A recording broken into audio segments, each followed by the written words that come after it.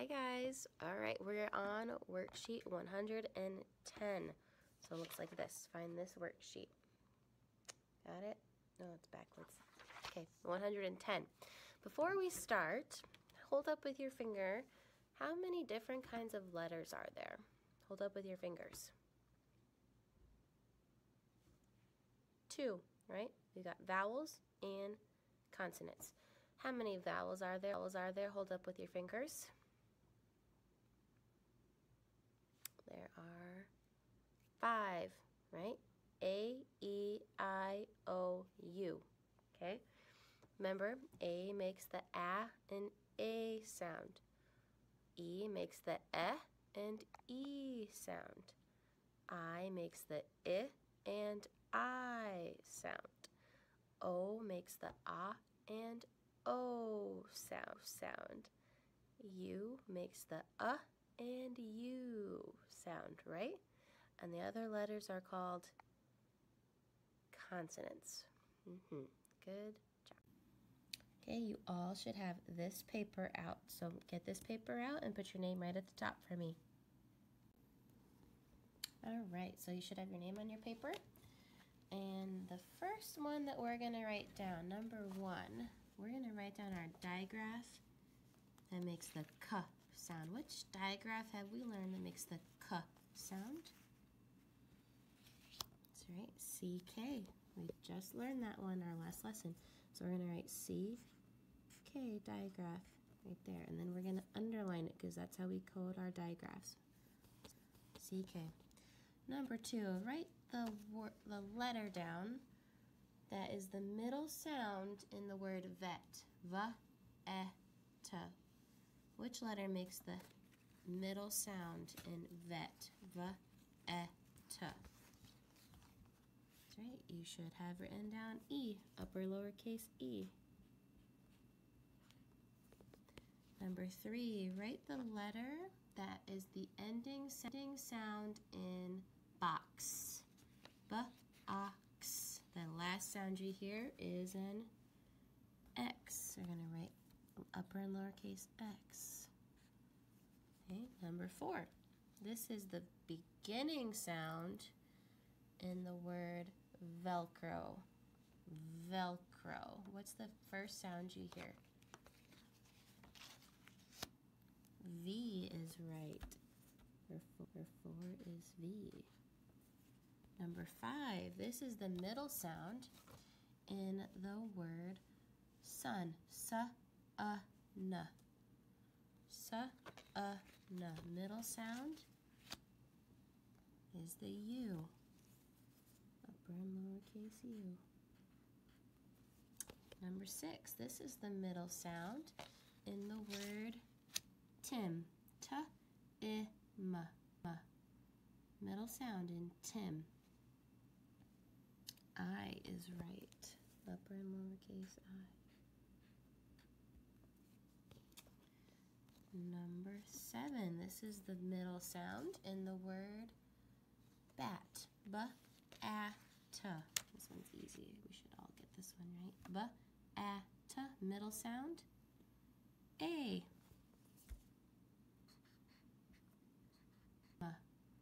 Middle sound in Tim.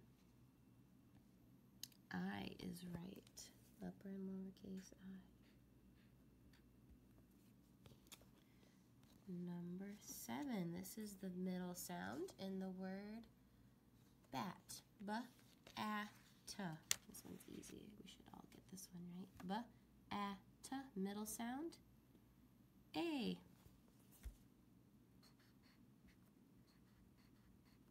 Number eight.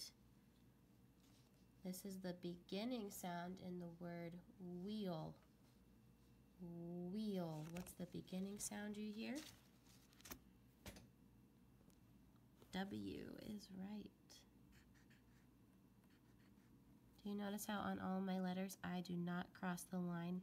Make sure you are staying on top of the line too. Number nine, I want you to write the digraph that makes the qu sound. Which digraph have we learned that makes the qu sound? Q-U, very good. Now, remember how we have the fishing hook? The bobber on top and the hook under the water? Mm-hmm. Cue you. Next one, this is the middle sound in the word top. Ta, ah, pa. Ta, ah. Middle sound. Oh. We're going to write oh, and I'm going to make sure that I don't overlap letters. So it's okay to do that. Number 11. This is the beginning sound in the word feather. Feather. What's there? What's the beginning sound? F is right. We're going to write F on line 11. And number 12. This is the ending sound in the word dob. Duh, ah. Actually, dab. Duh, ab. If we're going to dab something. Duh, ab, b. B is right. B on the line. Perfect. Then in the box, I want you to underline all of the Digraphs, the ones that make the K sound. Underline those digraphs.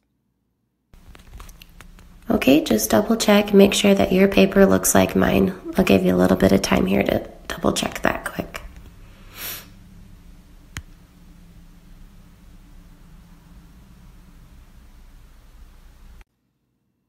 All right, you can turn your paper over if you're all done with the front. I'm going to get started on the back. Okay, I want you to look at the word by number one. Bra, i, ka. Before we match this word to the picture, I want us to code it. So how would we code the I in this word? Bra, i, ka. Is the I long or short?